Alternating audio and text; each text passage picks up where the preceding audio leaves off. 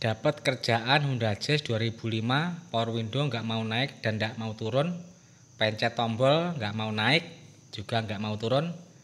E, mungkin ini dinamonya yang bermasalah ya karena kalau dites di output dari switch tadi yang menuju ke dinamo itu ada tegangan bolak-balik. Berarti ini terduga dinamonya bermasalah. Mari kita uji menggunakan avometer apakah ini bermasalah atau tidak.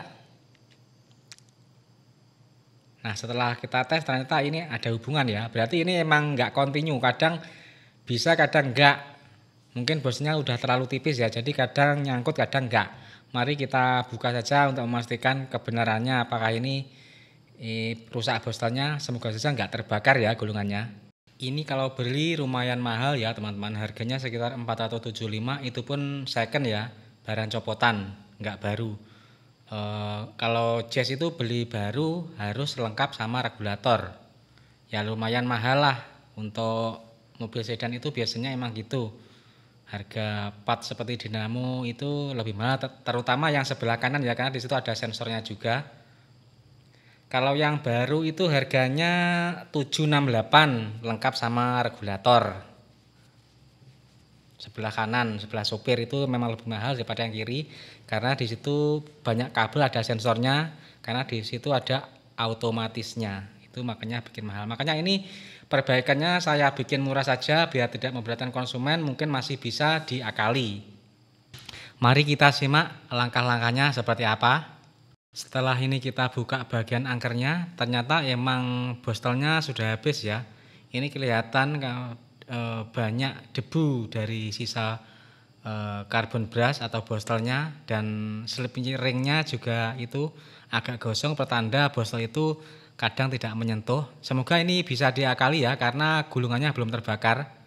Ini setelah kita jebut e, kelihatan kalau ini e, gosong ini berarti ini emang sudah tidak menyentuh.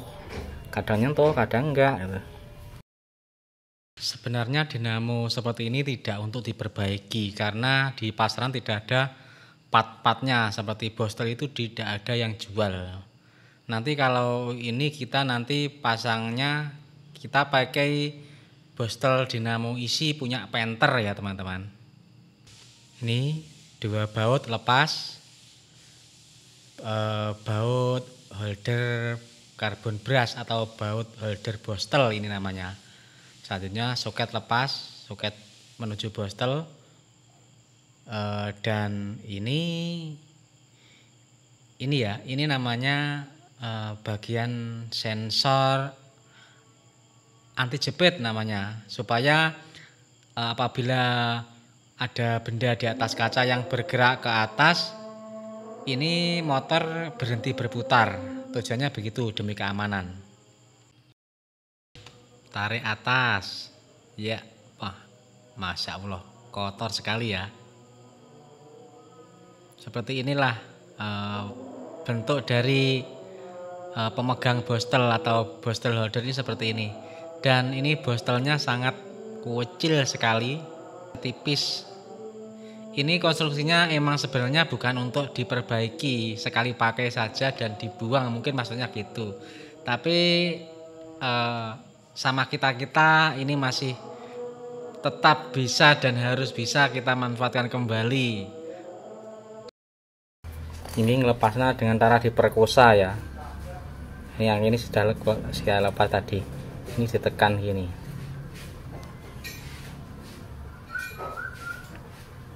Rusak nggak apa-apa nanti diganti. Nah seperti ini lepas. Cuma kecil sekali kecil. Kecil. Nah.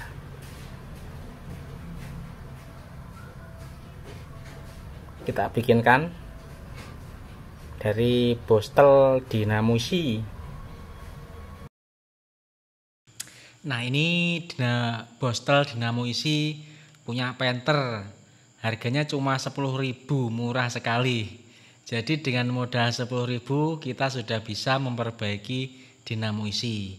Emang murah patnya itu emang murah teman-teman. Yang mahal itu ilmunya ya. Makanya kadang kalau di bengkel itu loh patnya murah kok ongkosnya mahal. Ya yang mahal itu bukan alatnya tapi ilmunya gitu katanya. Eh ini bostonnya kita kecilkan.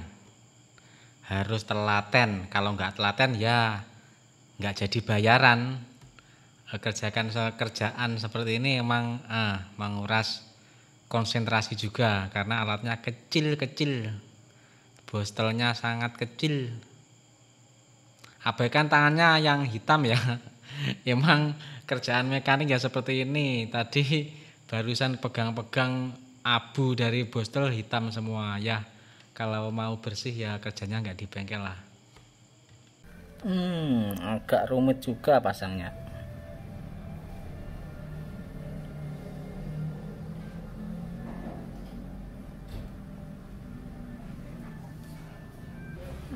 kita masukkan. Udah masuk ya. Seperti ini.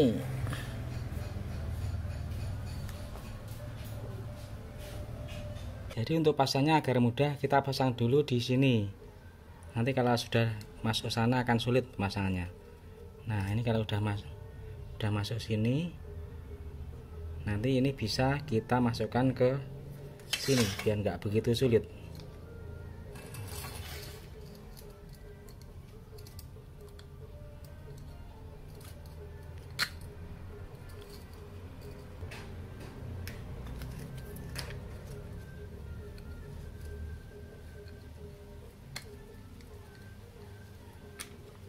Nah, masuk. Sambil diputar-putar masuk. Tinggal baut.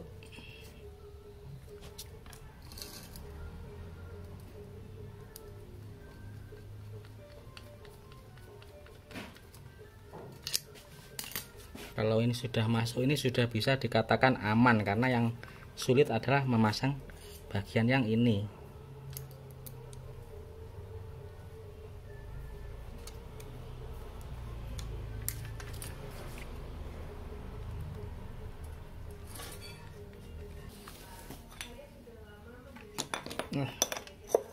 aman ya, sudah aman.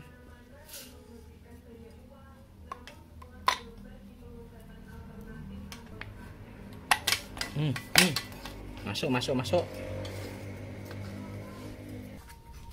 Ini sensor pasang sini.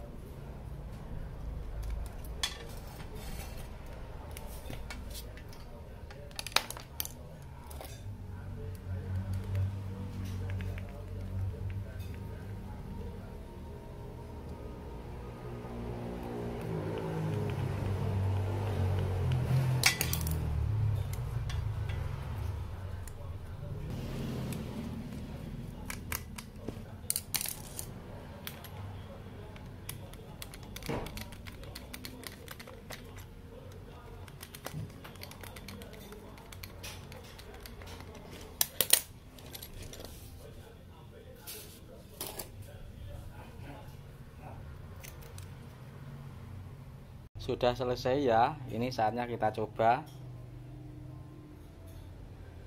Kita coba dulu sebelum dipasang secara keseluruhan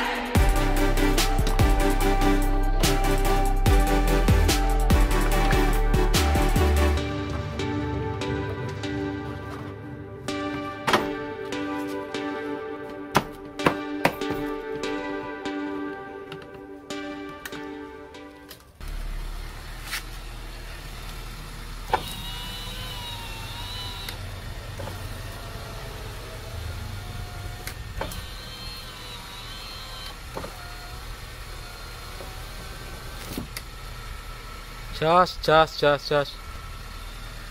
Demikian teman-teman sharing dari kami dari Dukun Mobil Nono.